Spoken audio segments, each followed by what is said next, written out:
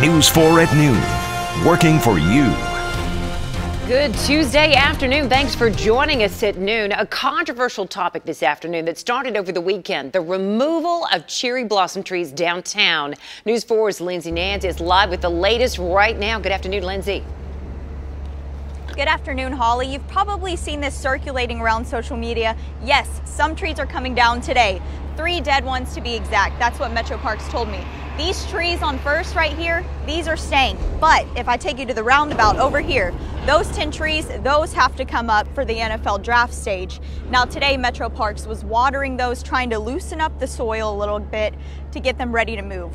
Um, and then a nursery is actually going to come tomorrow morning really, really early in the morning and begin moving those trees and they're taking them to fill them in the gaps with the dead trees over here. So if you remember correctly, originally 21 trees were going to be taken down. Now we're at 10. Metro Parks also told me once those 10 in the roundabout get sprinkled throughout here, there's about a 50% chance survival rate. Originally, he gave me 30%. Now we've bumped it up a little bit to a 50% chance of survival.